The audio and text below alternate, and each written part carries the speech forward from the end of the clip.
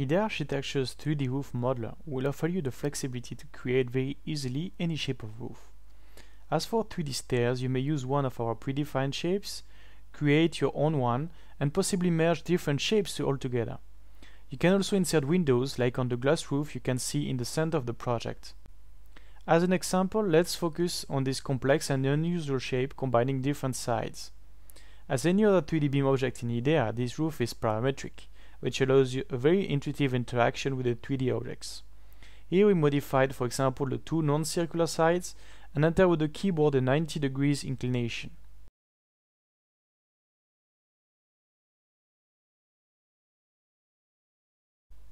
With the command rise walls, we can finally connect the roof with the walls and get instantly our new and very modern looking 3D roof.